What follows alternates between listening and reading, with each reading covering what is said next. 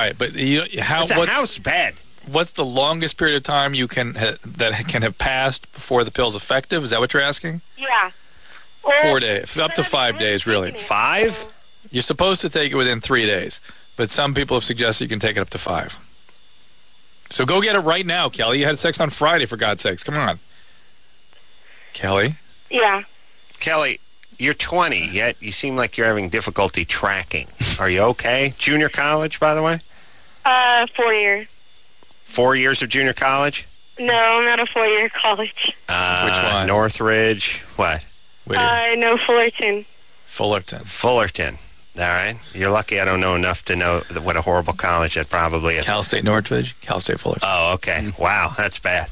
Yeah, Tom. le- Tom. Uh, Tom uh, scoffs at you. By the way, Yeah, it's no Berkeley. he's from MIT. Yes. Yeah. Uh, all right. So Kelly, go get that morning after pill, would you? Okay. And and what wait, you, wait. What do, you- what do you mean? Okay. No, no, don't You- do you- it. the- Who every second goes by, the effectiveness wears off. You have up to 72 hours, maybe up to five days to get some effect, but the best effect is the soonest after the intercourse. Okay. So There's a f- basically, if I took it, okay, Friday, like, so like we did it Friday midnight. Um, I basically got like from from midnight that Friday night for like three days till like then, like basically. I don't know how to answer Well, that, Kelly, like except that- by repeating. So no, no. Listen here. Let me tell you. Let me tell you uh, Kelly's uh, hypotheses. It's 72 hours from the last time you had sex. So if she can just keep getting nailed, this could go on f- t- for infinity. you see, I mean, she could be in her 90s Every getting 72 nailed. hours. Yeah. Every Uh, yeah, so your thing is like Oh, I got the nailed last time, Friday, I. Saturday, and Sunday, so it should be 72 hours from today. Right. Or she's saying, does it have to be taken at 72 hours? at 72 hours from That would be time I had awesome if that's what she was saying. It's just like pushing the reset Wait, button. let's ask that's her. right. Let's That should ask her. never. Come you, on. You think you're gonna get that out of her? Let's see. You're not gonna get Okay, that. let out me make sure she understands. Okay, Kelly, first of all, you with me? Yes. All right, it's a phone number I want you to write down. Um, One eight eight eight. She doesn't have a pen. You have a pen? She's writing with the kissing potion on the size All right, side of a it's pump. One eight eight eight. Not too late. Not too late. Too late. You can remember that? Yeah. One So eight eight number eight, two. not Too late. And the number two. Not too late. And they will refer you to a pharmacy that will give you the pill tonight without a without a prescription. Okay. Oh, okay. Okay. Do you understand that its effectiveness wears off and approaches zero after 72 hours? So the sooner you get it, the better. Okay. Take the pill now. What was it you thought? It, how was it you thought it worked? Okay. Well, This- I basically thought like they you had up to like five days, like like from the first time you had sex, like when you first had intercourse, like the first time. Mm-hmm. So like five days after that, like you have it till five days to take like the morning after pill. All right. You have up to three days, but the effectiveness is at its least, at its nadir, the lowest, the longer you wait. Um, All right. So you just uh, you Go take- get it now. you You're 48 hours. You're 40 hours. You have about you get about 70% effectiveness now, maybe 80. Okay. Did you really expect, by the way, to uh, go to Havasu and stay on a houseboat, not uh, get laid? I wasn't really expecting it. Why would you? Why But would this, he? is, this is thing. This, why would do this you all two time. go to? Uh, why would you go to Lake Havasu and not? What? What do you think he's there for? Um, it was just like a, it's just like a getaway, and like not, it wasn't supposed to be anything like that. Like I don't know, just Kelly, let's just one one Not- not one for word you, of advice. One word of advice. Males' brains do not work like yours. Get away. Not many Let me tell you. like Let me tell you eh? the getaway.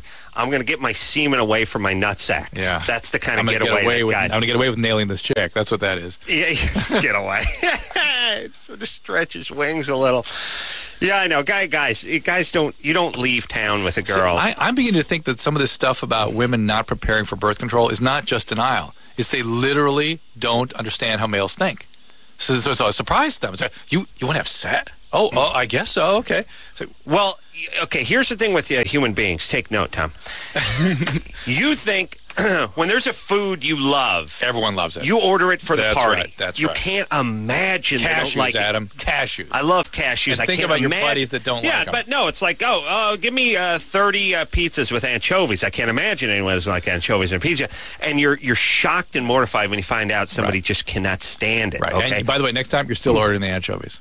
Right. So the young lady says, uh, "Well, we're going to have a suit, unwind, and relax. We're Doesn't just going sex doesn't occur to her. reconnect emotionally. There's not going to be anything physical." And the guy says, "Oh yeah, yeah, that's Well, why we're going." thinking. She's not even thinking physical or not physical. It's like what? What doesn't even occur to her. Doesn't yeah, but, but if somebody said to you, even like you, your favorite food, and you said, "Oh, don't don't you love the uh, pasta fazool?" and I went, "Oh yeah, Yeah. oh yeah, oh yeah," you wouldn't argue with me. Right, You'd just right. order it up, and then you'd find out later I I was humping you with it, raping you with a uh, soup ladle. trying to follow. yeah.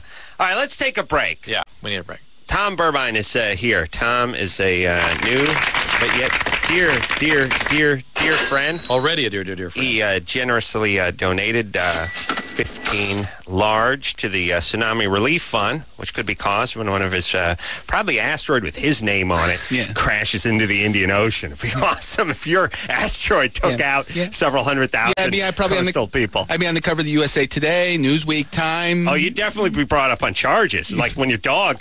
You know, Bite somebody. Yeah, when he mauls some, the mailman, he- it's your fault. When your asteroid uh, takes out a village, you're screwed. All right, let's take a break. We'll be right back after this. Hey, everybody, Loveline. I'm Adam. That's Dr. Drew. Tom Burbine is in here. Tom is a, uh, uh, he's a teacher, professor. He uh, donated uh, Teaches, he, he got, he's got it wired. He teaches in an all-girls school. fifteen thousand dollars to the uh, tsunami relief fund, and that uh, got him on here. And uh, we would have liked to have Tom anyway.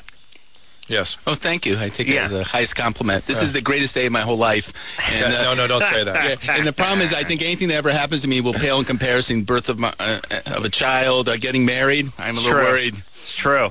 We have it's, it's, it's all going to be a, a fast free fall after you leave the studio. Tom is uh, made the pilgrimage from where exactly? South Hadley, uh, Massachusetts. I live right next to Mount Holyoke College. And uh, you teach at Uh, UMass Amherst. So I teach a uh, one. going to start in the fall. a teaching class in Mount Holyoke, a class in asteroids in the fall. But this semester, I'm teaching a class in astronomy, astronomy 100, just basic information for a class of 300 UMass Amherst students. I was just telling him a little known fact that I played John Proctor in the Crucible at Mount Holyoke College in 1977. yeah. Yeah. That's on like three quarter tape somewhere. No, I don't think anybody ever taped it. It was a Really? theatrical thing. Yeah, they should they should film. You know, aren't the nerds from the AV club out just looking for excuses to bust out the uh, 1977, a video no, but I mean- camera. no, they had had had one the size of a, a Winnebago. Yeah, yeah, yeah, yeah. Yeah, it's Yeah, awesome. So one, you know. Bob Crane used to use. You know. Oh, yeah, making his videos. Yeah, yeah. All right, so uh, Tom is uh, here uh, hanging out. We had uh, dinner with Tom and his uh, lovely life partner, No. Kevin. No, uh, they're, me, they're me- straight. Yeah, yeah. Me and Kevin have a bet who can get the uh, lightest girlfriend. So pretty much, if, if you date another guy, you would lose the bet. So, uh, Oh, I we- see. so we stay heterosexual that way. Yeah, they're both uh, both geniuses. Both geniuses. Now, And it- Tom brought in the New York Minute for Adam. Are you going to watch this? yeah, absolutely. Seriously? Absolutely. You heard him. Yeah, yeah. It is. I don't believe it. No, it is funny. You'll get a lot of enjoyment out of watching it. Not necessarily the way it was intended. N- maybe No, not. Okay. And they actually, it's kind of high budget. They have like split I know, I know. screens, and it's it's it's No, not it like a TV movie. It's a real It movie. It's a big deal, yeah. No, it was uh, Drew plays uh, the father of the Olsen twins Yeah. on it. Stephanie? And what were you going to say, Tom? I'm- He's going to say something. No, no. I could feel it Coming. Better, better he doesn't. Stephanie, Yeah. you're 18? Yeah, well, I'll be 18 tomorrow. All right. Well, happy birthday. What's up? Um, because me and my mom, we haven't talked for a long time because um, she got kicked me out when I was 14. And um, Why'd you kick you out? a lot of reasons. Give me one. Because um, I didn't like my stepdad. Okay. All right. Um, I didn't like him because he's a very bad man. He molested my little brother and stuff. Bless your little brother. I, I have no doubt that you're absolutely right. But go ahead. Um, so she kicked me out, and I've been on my own for a long time. And um, my birthday's coming up, and I was wondering, like, if I should call her or I'm not sure because me and my mom has been having problems for a long time. All right. How do you support yourself? How do you support yourself now? How do you how do you live? How Um, off for other people. do you go to school? no, No. Do you work? No. No, she she like mm. panhandles, right? Are you are you prostituting yourself or something?